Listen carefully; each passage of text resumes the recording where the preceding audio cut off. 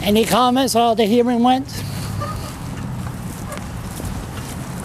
No comments?